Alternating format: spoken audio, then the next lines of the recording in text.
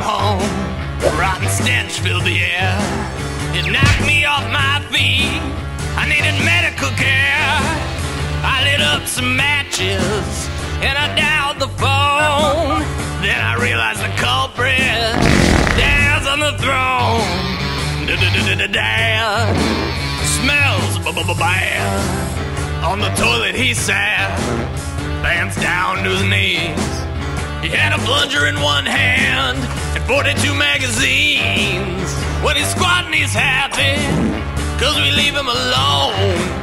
Yeah, he's king of his castle when dad's on the throne.